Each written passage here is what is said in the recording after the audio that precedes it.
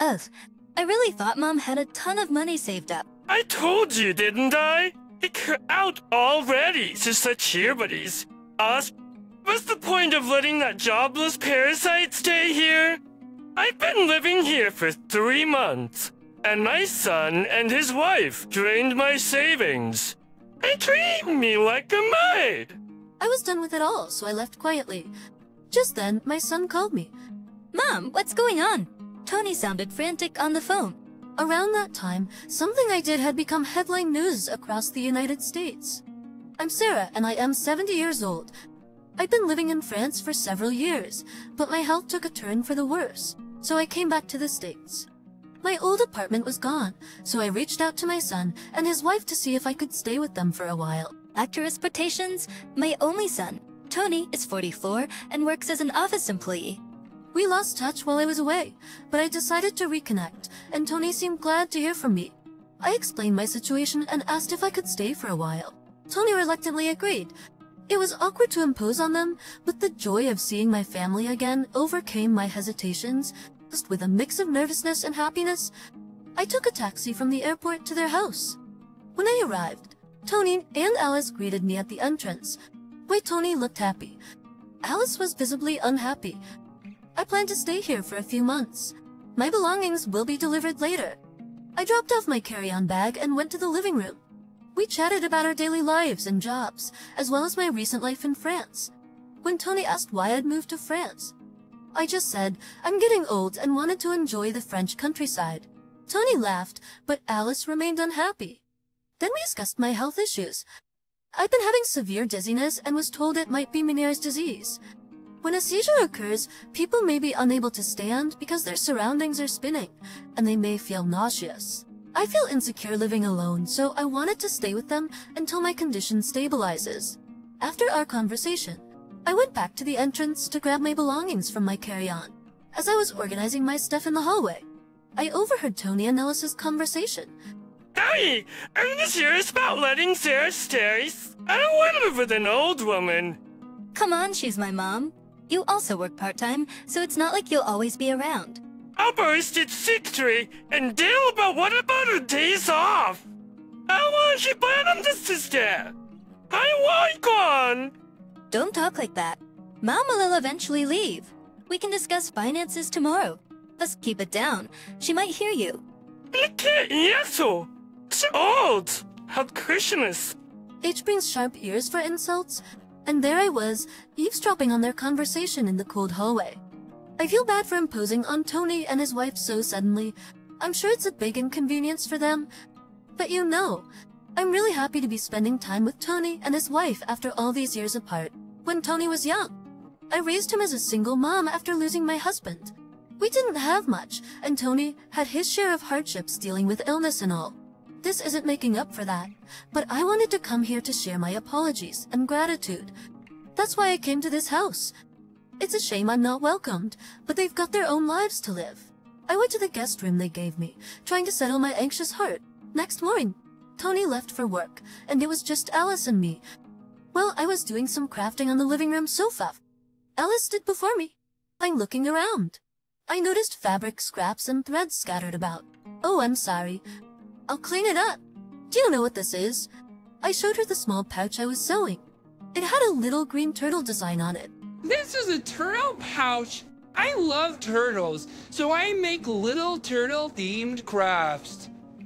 It even has a zipper on its shell, too. Blush accent like see, expect... That's nice, but sir, you can't just hang around here all day. Alice cut me off, clearly uninterested, and sighed heavily. At least go somewhere else when I'm off from my part-time job. Somebody or what part-time job or such stuff? But I get dizzy if I go outside too much. I'll drive you to the nearby community center, so stay there during the day. I things to do at home. Also, help with the chores while you're here. Or beyond it driven! It's the least you can do since we're letting you stay. And don't do crafts, do some cleaning and laundry. And is your trustwood force grand? I finally said, alright, slowly got up from the sofa. From then on, I ended up doing all the housework, though dizzy and sore. I took on the chores. Alice and Tony treated me like a housekeeper. Alice seemed addicted to social media, constantly on her phone. It looked like she hadn't been keeping up with the housework before I came. That night, Mom, did you bring your banking card? When Tony got home, he talked to me with a smile. I don't mind you living with us, but life costs money. Could you chip him? I looked at Tony over my reading glasses, nodded, and stood up. I pulled the banking card from my handmade pouch and handed it to Tony. He checked it quickly and his face tightened. Wait, um, is this all you've saved? Does any other accounts? That's all he had. I don't need much at my age. No chronic illnesses or anything. As the conversation continued, Tony's expression darkened. Man, this is not enough money. Not even 10,000? You said you were living large abroad, so I assumed. Tony kept pestering me, asking if I had any more money. When I said no, he sighed and slumped his shoulders. Um, f- fine. I'll hang on to this cash for now. I'm doing you a favor letting you live here, so this is the least you could do. After getting my account password, Tony grabbed my bank and debit cards and left the room. That night, lying in bed, I could hear Tony tutting through the wall that separated our rooms. Ugh, this is a letdown. I totally thought Mom was loaded. Our household is actually in the red. Shouldn't have said she could stay. The two of them seemed confident I couldn't hear, talking freely in the next room. Or maybe they wanted me to hear them, just in my cold bed. I was holding back tears of loneliness and sorrow. The next day, since Alice had a day off, she drove me to the local community center. I opened my carry bag to continue my handiwork in the lounge area, but realized I had left the essential fabric at home. I hesitated, but I couldn't ask Alice to go back and get it. Fortunately, my dizziness was under control today. I knew this area, so I decided to take a walk home to get the fabric. Finally arriving, I glanced through the veranda into the house. Alice and an unfamiliar man were there.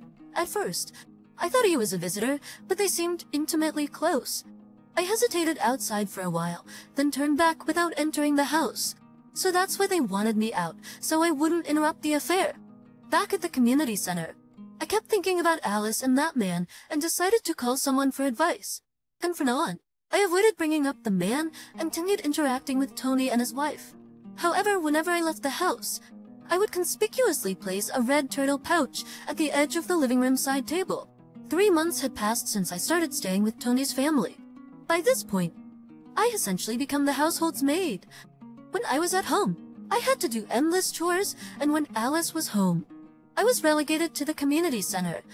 My savings had mostly been drained by Tony, a man with a gambling addiction who spent most of his free time on lotteries and slots.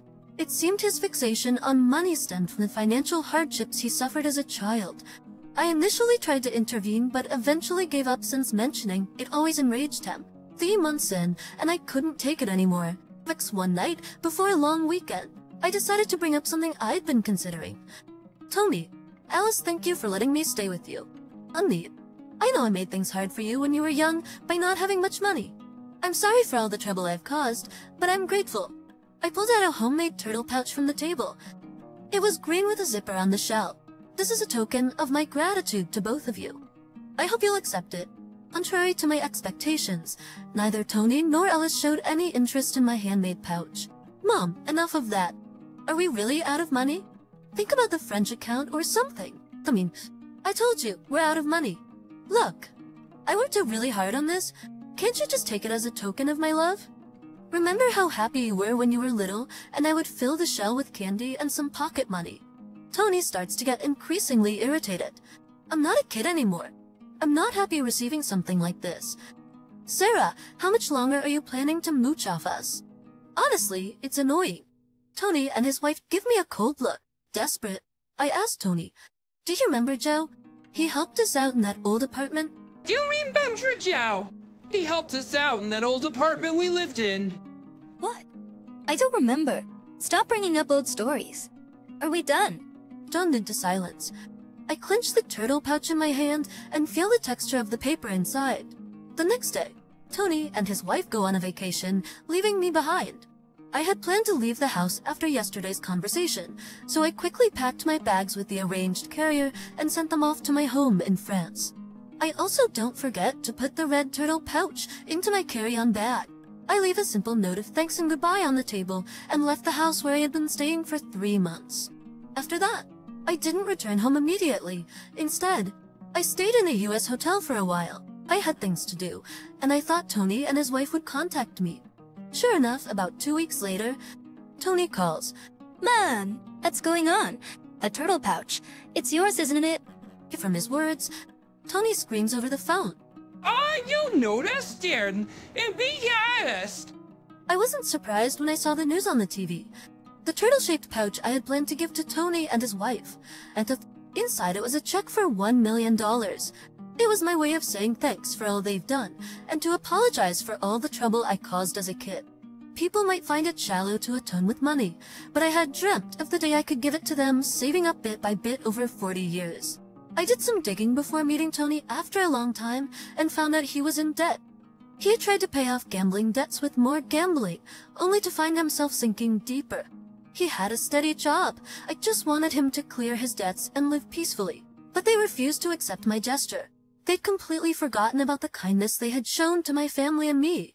So, I decided to divide that million dollar check into smaller sums and donate it to charities and welfare organizations across America.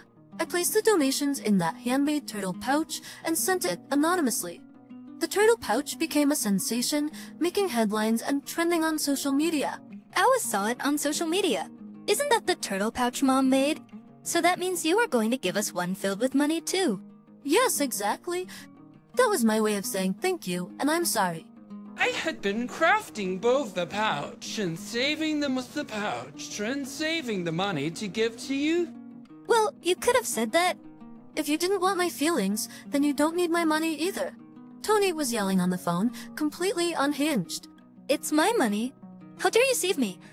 I couldn't listen anymore and pulled the phone away from my ear. After a moment, I spoke.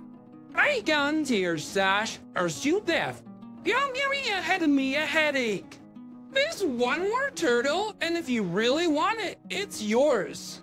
Tony finally settled down and reiterated his desire for the turtle. We agreed to meet later at a cafe. On the day, I took the last red turtle and an envelope to our meeting spot. Tony and his wife were already there and demanded the money before I even sat down. When I silently pulled out the red turtle, Tony snatched it, immediately unzipping its shell.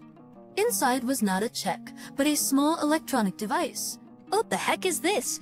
He confused. I could. Tony fiddled with the device. He found a tiny button and pressed it.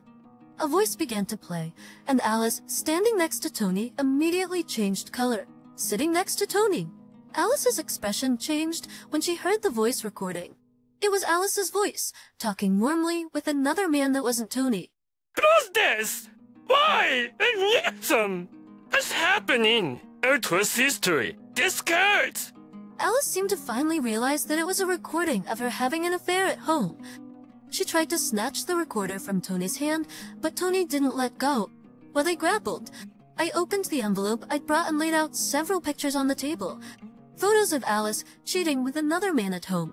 Presented with irrefutable evidence. Alice was flustered and kept muttering. Why?